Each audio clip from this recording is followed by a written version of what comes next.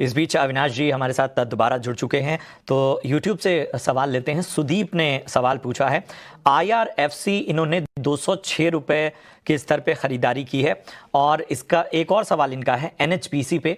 NHPC इन्होंने 102 रुपए की बाइंग है। एक साल तक का होल्ड कर सकते हैं, ये बता रहे हैं।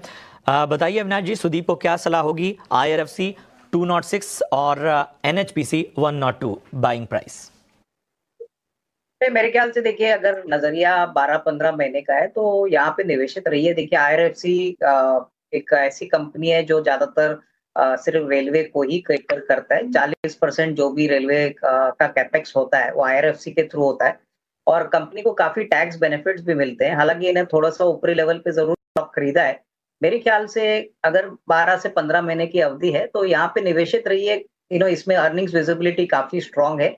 और प्लस uh, मुझे लग रहा है कि जिस प्रकार का इन्वेस्टमेंट वंदे भारत के ट्रेनों में आने वाला है वैगन रिप्लेसमेंट में आ रहा है कहीं ना कहीं कैपेक्स बढ़ता है तो इनको फ़ायदा होगा। बट यस टाइम फ्रेम थोड़ा लंबा रखिए तभी आपको अच्छी खासी यू नो यहाँ पे कमाई होगी। सर आईआरएफसी है four thousand share hundred rupees पे। तो सर मेरे को ये पूछना है कि इसको मैं अभी होल्ड करके रखूँ या इसको सेल करके डिप में लू या भी सेल करना है? बढ़िया पल्लवी जी का सवाल। थोड़ा सा हम कंसर्न है मार्केट को देखते हुए। क्या करना है आईआरएफसी में? हालाँकि सौ की खरीद, एक सौ पिचासी पे चल रहा है। है तो बढ़िया मुनाफा, लेकिन हमने एक समय सवा दो सौ के ऊपर के भी भाव देखे हुए हैं।